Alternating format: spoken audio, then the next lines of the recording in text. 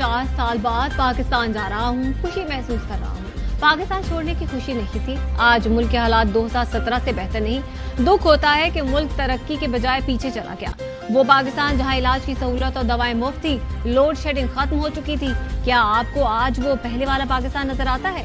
मुस्लिम league नून के कायद नवाज़ शरीफ की Dubai से, पाकिस्तान रवानगी से पहले सहाफियों से गुफ्तगु। कहते हैं, लोगों के हालात बहुत परेशान कुन है।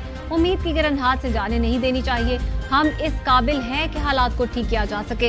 इलेक्शन कमीशन मजाज इदारा है। इंतबात की तारीख का ऐलान वही करेगा। मेरी तरजीह वही है जो इलेक्शन कमीशन फैसला करेगा। मैंने और मरियम नवाज़ ने डेढ़ डेढ़ सौ पेशियाँ, पेशियाँ भुगती हैं। मेरी बेटी को क्लीन चिट मिली क्योंकि वो किसी अहदे पर नहीं थी। मैंने सब कुछ अल्लाह पर छोड़ा हुआ है। हम 28 मई वाले हैं 9 मई वाले नहीं। पाकिस्तान जा रहा हूँ। चार साल के बाद के बाद।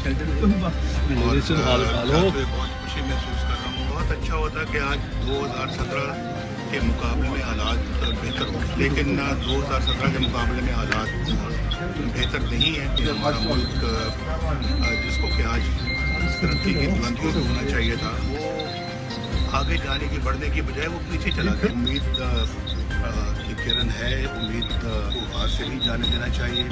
इस काबिल है कि हम अब भी अपने हालात को ठीक कर सकते क्योंकि हमने बगाड़े भी खुद ही हैं और ठीक भी हमने खुद ही करना है। बहुत तकलीफ़ होती है कि वो पाकिस्तान जो कि आईएमएफ को भी खुदा हाफिज कह चुका था। दवाइयाँ मुफ्ती, बताएँ आप, वो आज पाकिस्तान आपको नज़र आता है? नौबत यहाँ तक क्यों आई?